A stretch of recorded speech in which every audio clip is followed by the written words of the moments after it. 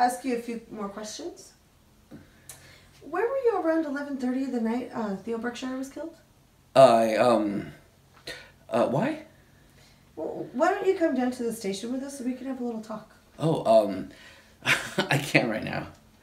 Don't worry, they can find someone to fill in for you. No, it's not that. It's just that my son is with me and I, I can't leave him alone. Dad, is everything okay? Uh, yes, everything's fine. um, this is my son, Alex. You got there? Um, we can meet tomorrow when he's at school. Well, we're gonna need you to come with us now. If you don't want to leave him alone, he can come too. Okay. Okay. Mr. Marley, were you in Theo Berkshire's apartment the night he was killed? Yes. With Mr. Berkshire's permission? No. I was squatting there with my son. We were evicted from our apartment a couple weeks before, and I. I didn't, I didn't know what else to do. You had a job. You were one of Berkshire's employees. You couldn't afford your own place? My wife died of ovarian cancer. She was sick for years. I was buried in medical debt. And my son is deaf, and it's not cheap raising a child with special needs in this country.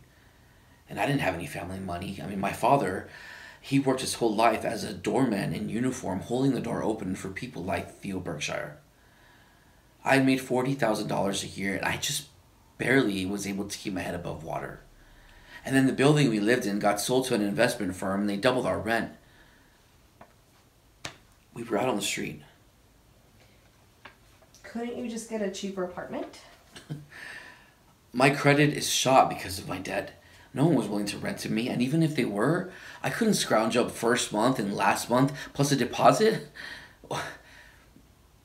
Once you fall behind, it's just, there's no hope in catching back up.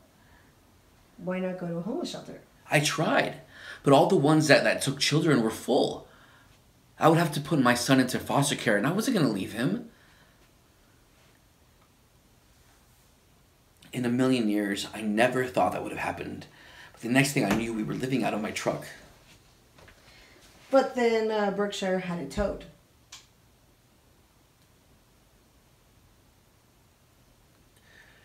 I just felt like we kept getting pummeled and I was out of options. And I knew that the penthouse was just sitting there empty, and I overheard Theo bragging about how he wasn't even going to live in it. Uh, it seemed like a victimless crime until, until he showed up that night in the middle of the night. Louis, did you shoot Theo Berkshire?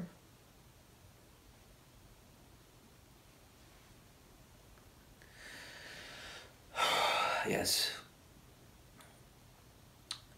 My son and I were asleep in the bedroom, and then I heard a noise in the other room in the middle of the night, and when I went out to see, it was dark and the lights were off, and I saw a man in the living room. And he turned to look at me, and he shouted something that I, I can't make out now, and, and then he pulled out a gun. What did you do? Before I could do anything, my son came out from the bedroom behind me. He pointed the gun at him, and I, I just reacted. I tackled him to the ground, and I wrestled for the gun, and it went off. And then what happened? And then I turned the light on and I saw who it was and I panicked and I, I packed our stuff and left.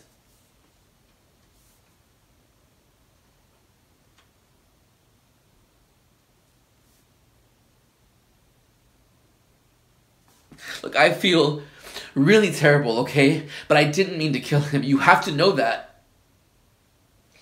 You were just trying to stop him from killing you. I was protecting my son.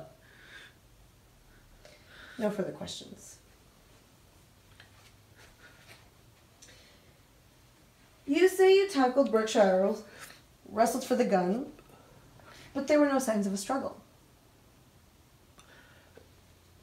There was no furniture in the apartment. It, it was empty. What I mean to say is, Theo Berkshire had no defensive wounds on him. If you two fought. It, it, it all happened so fast. I didn't even land a blow. I mean, the gun just went off. If what you're claiming is true, you had a right to defend yourself. So I flee. In my experiences, rights like that only applied to people like Berkshire, not to people like me. You were the one who sold Felix Vassar the gun because it was your gun, wasn't it? No, it was Theo's. I, I wanted to get rid of it because I was scared that it had my fingerprints or my DNA on it. And we needed the money. In the charge of murder in the second degree, we find the defendant, Louis Marley, guilty. Thank you, ladies and gentlemen of the jury, for your service. This court is adjourned. Dad? No! Dad! It's gonna be fine. It's gonna be okay. Dad, no, please, Dad!